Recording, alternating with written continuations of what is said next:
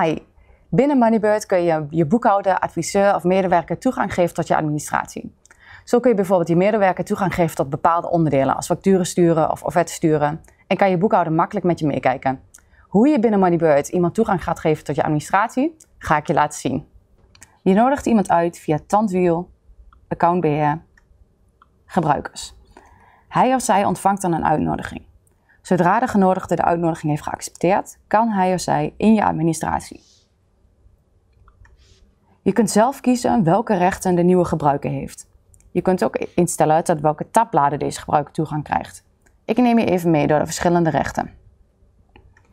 Als je een gebruiker aanmaakt met de rechten eigenaar, dan heeft deze gebruiker ook toegang tot het onderdeel accountbeheer en dus de mogelijkheid om het pakket aan te passen of gebruikers toe te voegen.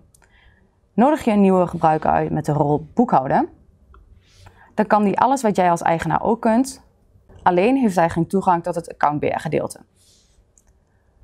Ook als je de rol medewerker alle rechten geeft, kan hij of zij alles wat jij als eigenaar ook kan.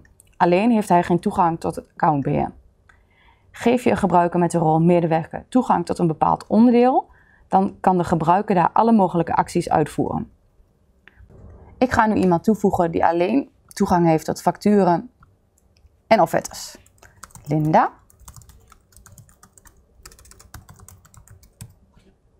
Uitnodigen.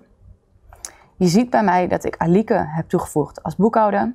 Ik ben de eigenaar en Yvette heeft toegang tot drie onderdelen. Linda heb ik momenteel uitgenodigd voor twee onderdelen.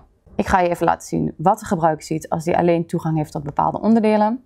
Daarvoor ga ik even naar een andere administratie.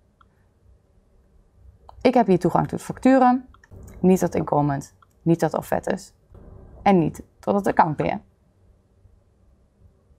Ik ga weer even terug naar mijn eigen administratie.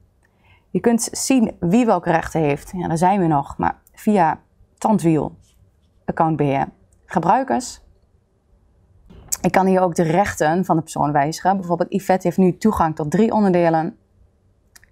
Ik voeg instellingen toe en druk op opslaan. En op het moment dat ik op opslaan druk, zijn ook de wijzigingen definitief. Mocht je nog vragen hebben, dan kun je altijd contact opnemen met onze supportafdeling. Dat kan via support@moneybird.com.